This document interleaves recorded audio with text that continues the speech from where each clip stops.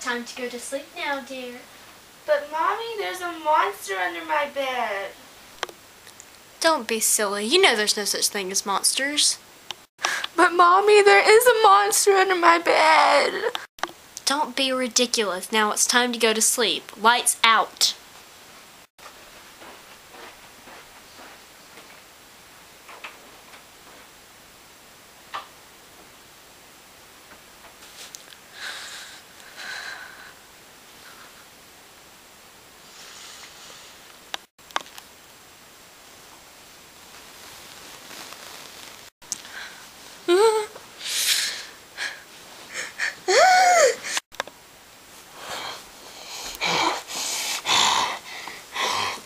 Do you want some candy, little girl?